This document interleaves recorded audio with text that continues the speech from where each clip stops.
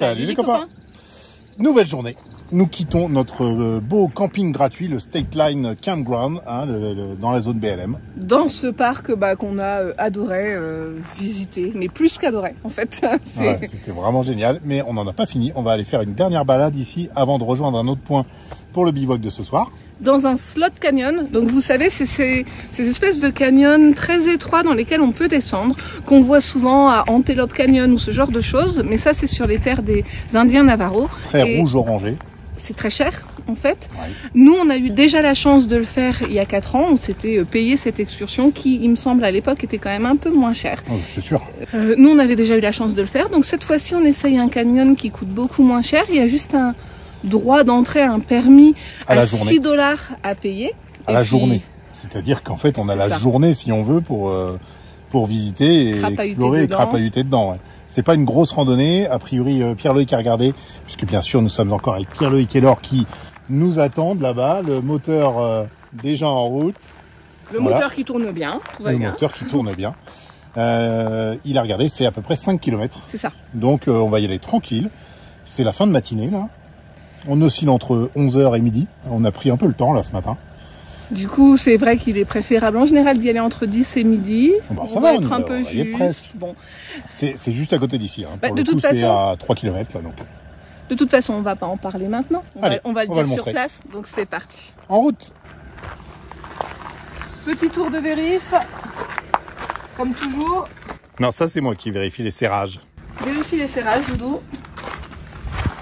Les serrures, attaché. tout est fermé. La remorque est fixe, la, la tente est fermée, le frein est enlevé.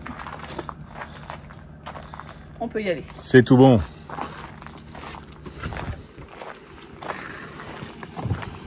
Oh, qui fait chaud dans la voiture. Oui, madame. Qui fait chaud? Il fait plus chaud aujourd'hui. Go Eh ben, si on ouvrait les vitres. La clim manuelle. Passe devant euh, Ou c'est eux qui passent devant Tu passes devant ou moi Non, tu suis Tu veux admirer Bonnie Allez, on quitte ce superbe petit camping gratuit.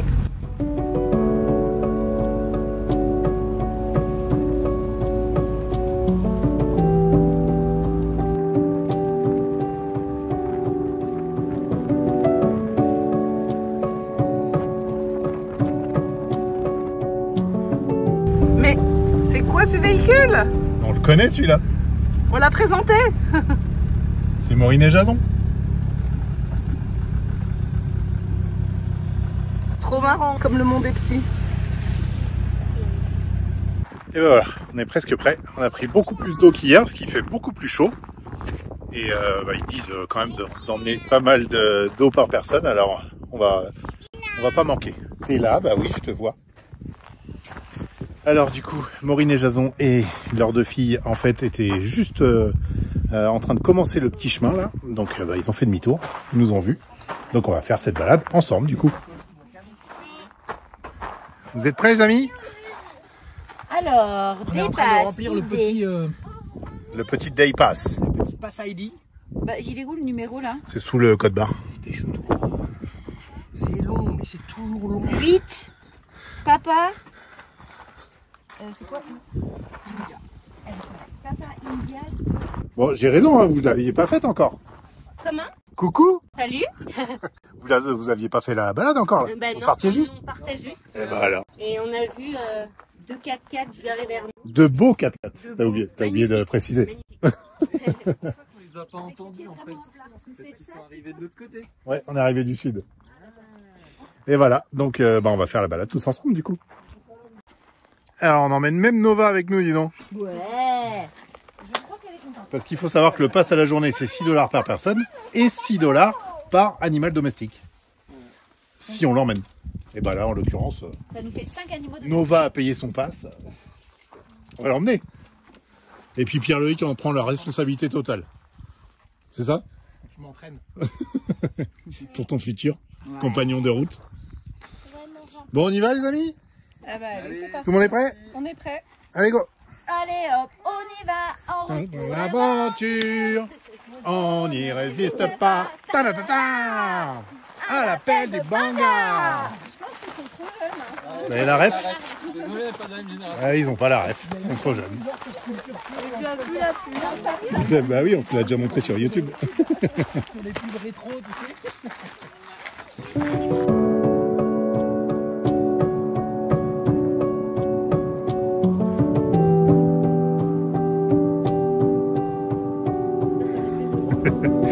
Première difficulté de maître chien.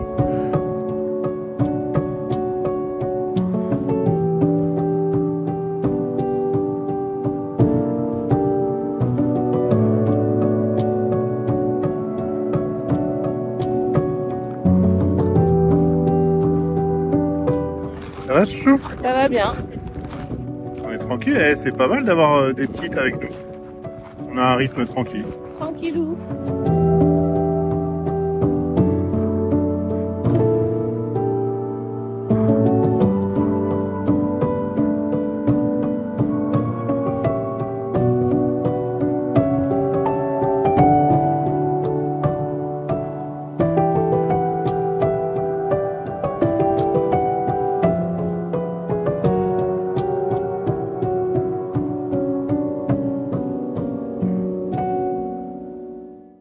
On est en tête.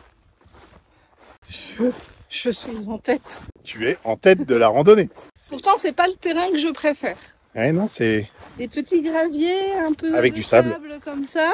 Euh, ce terrain-là est un petit peu plus difficile pour moi. Ouais, donc on va tranquille. Mais là, on avance tout doucement. Je suis même pas essoufflée, au final. Donc tout va bien. Et puis, euh, on commence à s'approcher de jolies roches et tout ça. Donc, euh, je pense que, bah, comme hier, ça va envoyer du lourd. Ouais, Ça va, toi? Ça promet d'être très joli encore. Aujourd'hui, il fait chaud, alors on a pris beaucoup, beaucoup d'eau. Bon, je les ai obligés à prendre beaucoup, beaucoup d'eau. Parce que moi, Tom ne veut pas que je porte d'eau. Je n'ai pas d'eau dans mon sac. J'ai juste mon petit gilet parce que autant il fait. J'en ai beaucoup dans mon ventre. Eh t'as beaucoup de liquide dans ton ventre. Et un bébé aussi. Et plus de sang et plus de plein de trucs, en fait. Et ça, je peux pas l'aider là-dessus. Euh, en fait, dans mon sac, moi, euh, je prends quand même juste euh, mon petit gilet, un petit, une petite écharpe pour le soir. Parce que autant la journée, il fait très chaud, mais euh, La nuit, il fait très froid. la nuit, il fait très froid, mine de rien. Ici, ouais. Et d'ailleurs, cette nuit, t'as mis plusieurs fois le chauffage. J'ai mis plusieurs fois le chauffage parce que je suis monté au milieu de la nuit après le chargement de la vidéo. On a eu un gros problème sur la vidéo de... Du schoolie euh, des Québécois. Parce qu'en fait, euh, c'est vrai que euh, Jocelyn nous avait euh, dit qu'on pouvait utiliser sa musique, etc. Il n'y avait pas de problème, c'était entendu avec lui. Parce qu'en fait, il avait créé même un une plaisir musique pour sur le départ. Donc on avait fait toute une fin euh, en- avec sa musique, avec des images de visite et tout ça. Et en fait, euh, bah, les droits sont déposés. Et du coup, euh, YouTube n'a pas voulu euh, céder les droits d'auteur. J'avais pas d'option pour dire si si j'ai eu les droits d'auteur, donc euh, C'était la nuit, c'était compliqué, donc il a fallu la j'ai dû recouper. j'ai dû recouper. Ouais. T'as dû enlever toute cette belle La fin, toute la fin de la vidéo. Et euh, du coup, tu as dû veiller pour faire ça de euh, deux heures et demie. Aïe. Aïe. De De- deux heures et demie jusqu'à presque six heures, ouais. 5h50. C'est ça, donc j'ai pas beaucoup dormi. Et du coup, cette nuit, j'ai eu très froid. Et quand je suis retourné dans le lit, eh ben, j'ai mis le chauffage plusieurs fois. hein. Même- si euh, toi, t'avais pas l'air d'avoir froid. Non, j'étais bien bien sous la couette, Ouais, moi, j'avais, j'étais gelé. ouais. mais J'ai, euh, j'ai mis du temps à me réchauffer. c'est ça en fait. Je pense que t'as eu tellement froid que ton corps avait beaucoup de difficultés. Enfin bref, On s'arrête. On va attendre tout le monde. ça va. Et je vous ça va montre un peut-être petit peu. commencer là. Voilà. Là, euh, on suit le lit de la rivière depuis le début. Et en fait, là, j'ai l'impression que ça s'enfonce déjà un petit peu. Et voilà le paysage dans lequel on randonne. C'est beau. Hein C'est magnifique. C'est aussi pour ça qu'il y a quand même beaucoup de recommandations, c'est-à-dire qu'on ne visite pas un slot canyon, ces gorges étroites, euh, un jour de pluie, enfin... Ah, il faut bien checker la Il météo. faut ouais. bien checker la météo parce que mine de rien, ça peut vite être très dangereux parce que ça peut très rapidement se remplir d'eau. Et il y a déjà eu des accidents malheureusement. Donc ça, voilà, faut pas non plus faire n'importe quoi. On a pris beaucoup d'avance, dis donc. Ah bah on était, sans le savoir, juste au départ. La connexion trail est là. Bon, c'est l'avantage, en tout cas dans ce secteur, on l'a constaté hier avec la piste 4x4, c'est hyper bien balisé. Donc on risque pas grand chose.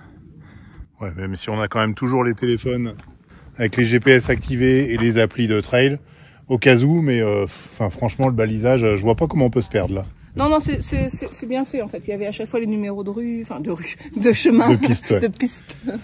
Voilà. Bon bah, eh ben on va commencer à monter là alors. Sympa. Tu testes le grip de tes chaussures le jour Ouais, c'est trop cool. Mais cette tranche, elle, elle accroche pas. Effectivement, ça glisse pas du tout. Donc euh, ça, c'est pareil, c'est bon pour moi.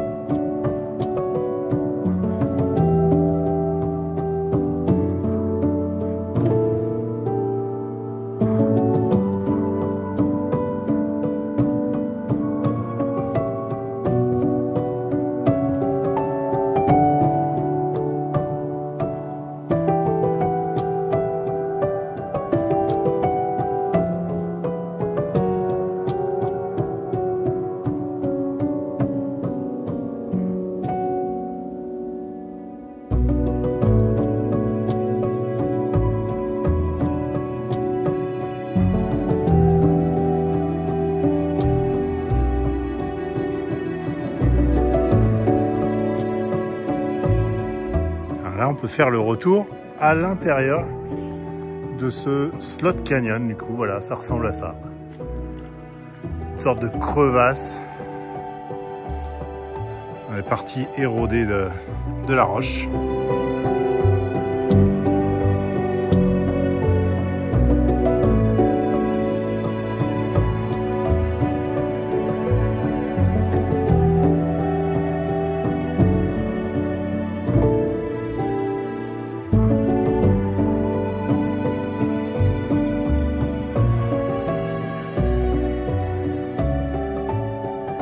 Prend la confiance là.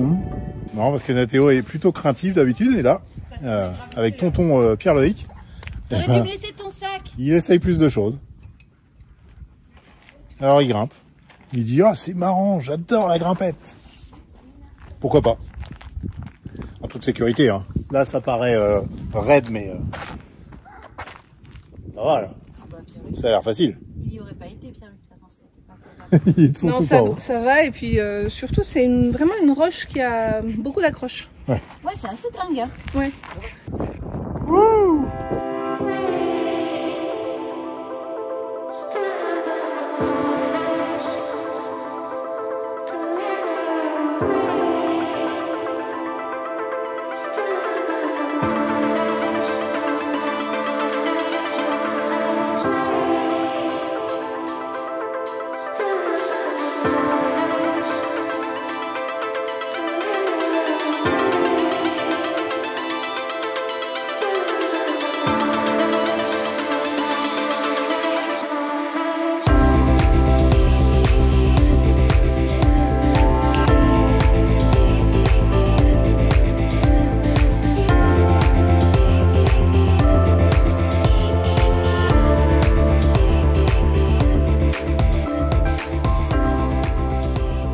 C'est l'heure de la pause de snack. Qu'est-ce qu'on a pour le snack, dis donc? Des bananes, des pommes? Et vous, qu'est-ce que vous grignotez là? Un mélange de randonneur. C'est très bon. C'est plein de vitamines, ça. Ça a fondu, Et des mais bananes bon. et des pommes aussi. Ah oui, bananes et pommes aussi. Petite pause. Et puis après, on va continuer de s'enfoncer un peu par là-bas pour aller voir ce qui s'y trame. Allez, c'est reparti.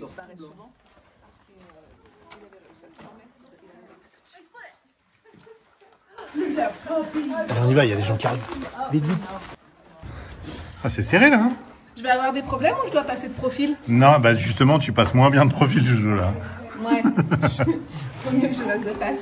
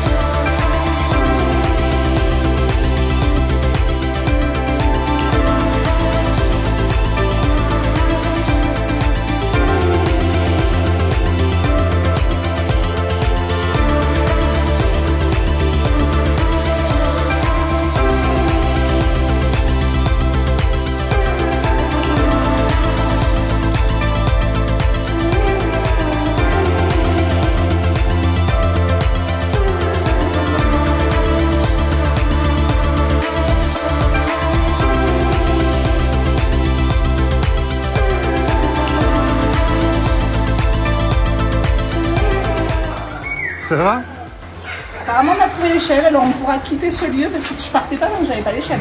Parce que je me disais que sinon, on avait loupé un, un bon. Et ben en fait, c'est la seule, effectivement, la seule petite partie qu'on n'a pas faite puisqu'on était passé par l'extérieur. Bah, parce qu'on a suivi le chemin. On a suivi le chemin parce que Ce qui est un peu bête, parce que du coup, on fait la, apparemment la meilleure partie Quand un il- peu tardivement. ouais, quand la lumière est moins au zénith.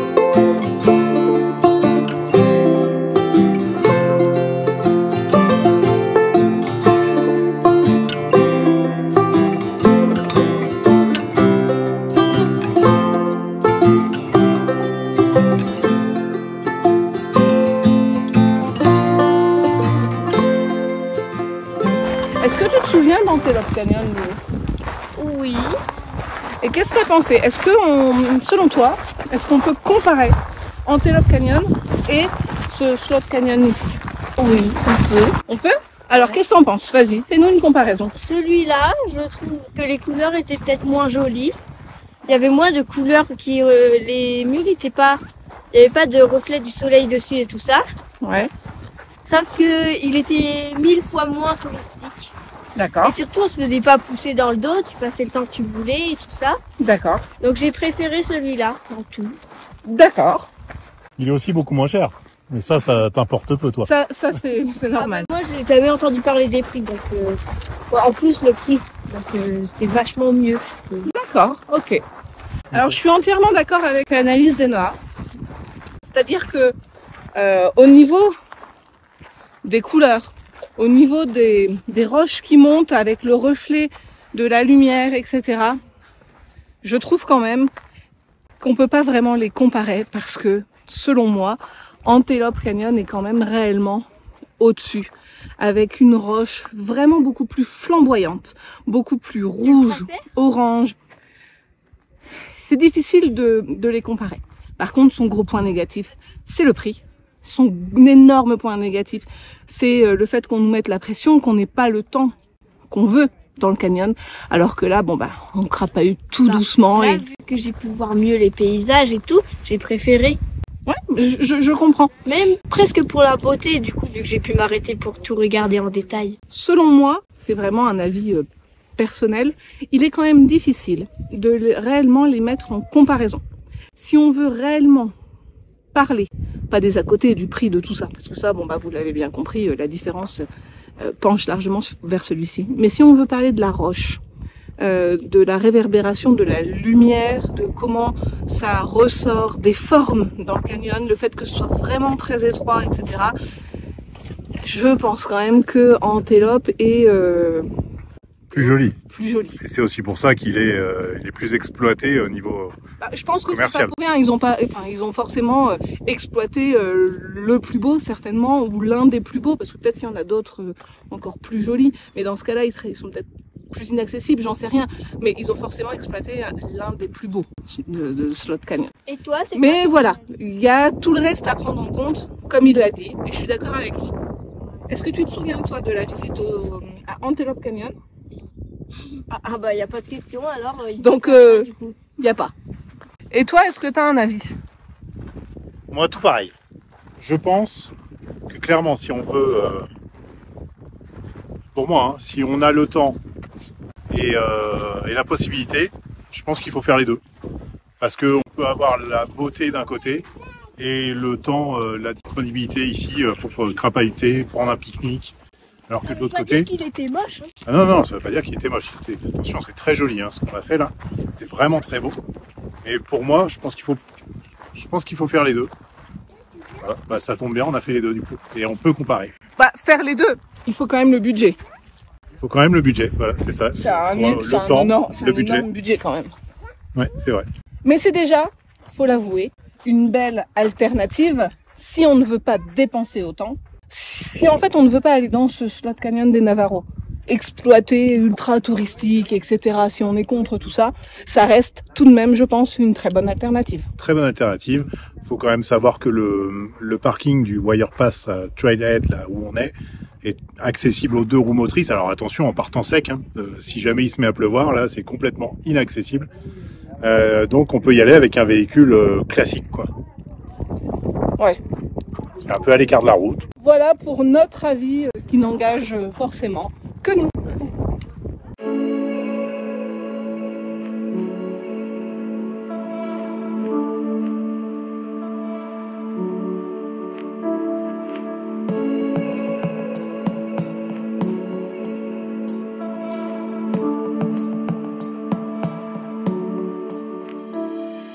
Allez, on dit au revoir à Maureen et Jason qui vont aller dormir là où on a dormi la nuit dernière. Et puis, euh, bah, euh, au plaisir de se recroiser, euh, par hasard, Eh ou oui. pas, Par hasard ou pas par hein, hasard. parce Pas, que on peut provoquer. on peut aussi provoquer, parce qu'on était quand même au Mexique ensemble, on s'est recroisés à Tucson, en Arizona. On est toujours en Arizona ou on est en Utah On est là? En Utah là. Utah. Ouais. Utah. Voilà, et puis bah ça se trouve, on va se recroiser dans quelques jours. Oui. Hein bon bah bonne route les amis, À Et vous Voilà. aussi. À vous aussi. bonne continuation. Nous euh, on rejoint notre prochain bivouac. C'est parti. C'est parti. Bye Je bye. crois qu'on nous attend là. Est-ce que on nous attend?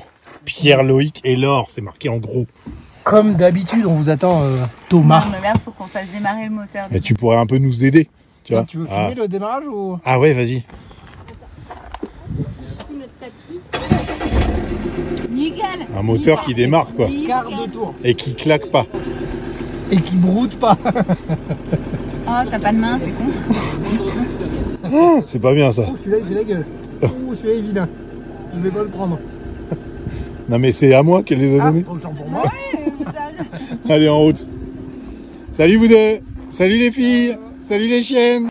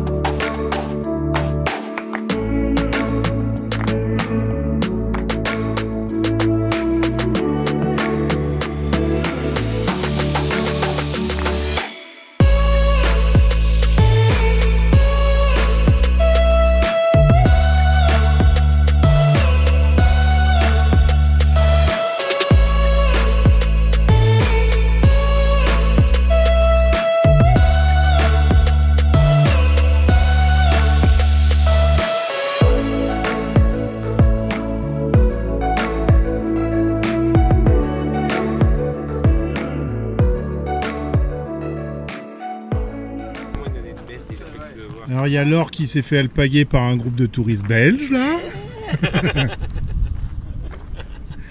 Et pendant ce temps-là, monsieur, il s'est dit, il y a de l'eau, il fait beau, je vais me baigner quoi.